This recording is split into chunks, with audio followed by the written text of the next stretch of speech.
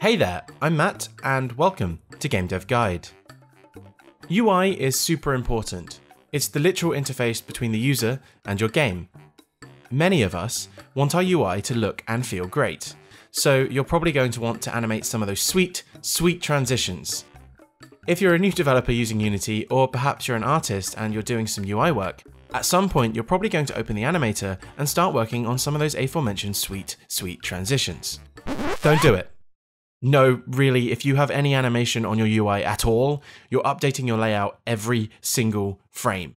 Even if nothing happens, it's incredibly expensive to your game's performance. So what's the alternative? Well, it's tweening.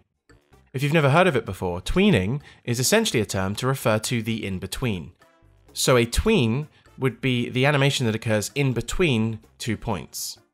It's an extremely efficient way to animate things, and it's much easier to manage than having a thousand animation clips bogging down your project. I'm not even kidding when I say with one simple component you can more or less animate the entire majority of your UI. While I could do an entire video on writing your own tweening library, there are plenty available on the asset store that work straight out of the box. For the purposes of this video, we're going to be using my personal favourite, LeanTween. LeanTween is a free tweening library that I've been using pretty much since I started using Unity. To animate something with LeanTween, you simply call the class and then the type of tween you want to perform. I've attached this component to a box which I want to scale in as it closes, so I'll simply call leantween.scale and set the point to zero, I'll set a duration of half a second, and then, here's why I love LeanTween so much, I'll chain an onComplete command to destroy the UI element once it's finished animating. Let's suppose we want to chain other UI to pop up when this closes. We can just thread our tweens and control an entire sequence of annoying UI pop-ups using LeanTween and delays. You should be able to see that a tweening library is extremely flexible. And as I said, it's not only great for UI, but we can also use a tweening library like this to control other objects in our game.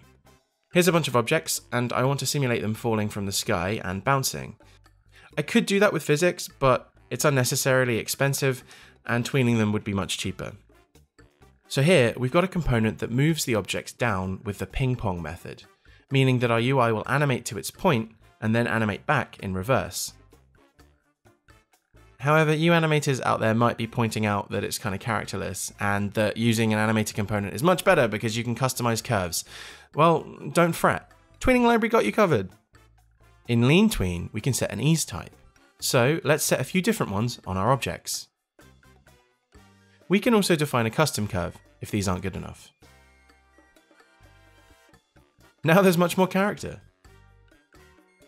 And as you can see, if we add easing into our UI scaling component, it also adds much more character to our pop-up box. Let's suppose we expose more of the features of our tweening library to this component, things like duration and delay. This way we can have the exact same zoom script on multiple UI elements in our canvas, but with some variation of settings, they all behave slightly differently.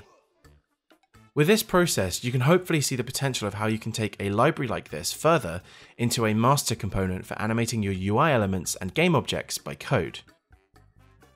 For my own projects, I've written a custom UI tweener component that handles different common tweening types I might want, such as moving, zooming, or fading a canvas group. The component takes an input of a tween type and then processes the settings on the component into a suitable tween. It makes adding that UI polish super, super easy as I can add it as soon as I'm done designing my UI element. It's an extremely fast and easy way to get that sweet, sweet polished UI feeling without having to lift a finger. So remember, tween your UI, don't animate it. And that's pretty much it for this guide. If you want to learn more about optimizing UI for your game, I highly suggest watching this talk from Ian Dundore at Unite 2017 it's a 50 minute talk about improving performance with half of the talk dedicated to workarounds and gotchas for Unity's UI system.